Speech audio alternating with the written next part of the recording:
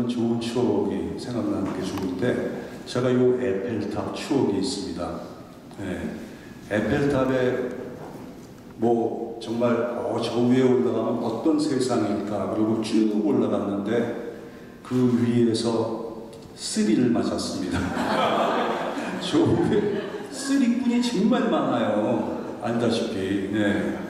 프랑스 쪽에 이제 아프리카 이런 데 가깝고 막 이러니까 거기서 이제 못 사는 사람들이 많이 와서 정말 쓰리를 많이 해가는데 이제 올라가면은 특히 제가 간 지가 한 20년도 넘었으니까요. 그러니까 이 저 휘둥그레지죠. 거기 올라가니까요. 이 파리가 다 보이니까 정신이 홀라고 나가 있는 그 틈을 이용해 가지고 다 가져가는 겁니다. 엄청 잊어먹었죠.